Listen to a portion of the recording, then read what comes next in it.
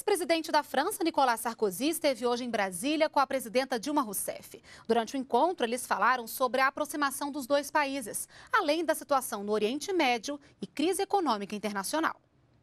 O encontro aqui no Palácio do Planalto foi um pedido de Sarkozy e durou uma hora. O ex-presidente francês ressaltou a importância da aproximação entre os dois países. Eles conversaram sobre Oriente Médio, G20 e crise financeira internacional.